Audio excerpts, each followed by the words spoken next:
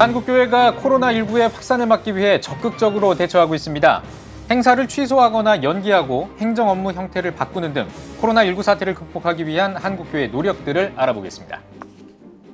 저출산에 따른 10대 인구 감소가 심각한 가운데 인구 감소세보다 교회 학교 감소세가 더 두드러진 것으로 나타났습니다.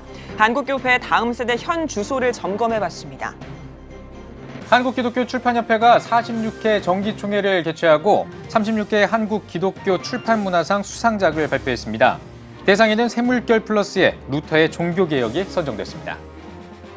2020년 모바일 플랫폼에 성별의 경계가 무너진 이모티콘이 추가돼 논란이 일고 있습니다. 자세한 소식 잠시 후에 전해드리겠습니다.